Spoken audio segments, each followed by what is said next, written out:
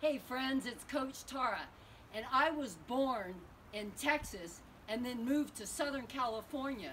So this white stuff that's coming down is a rare occurrence in my life, so you got to take advantage of it when it's happening. So I'm going to do a little kettlebell sequence.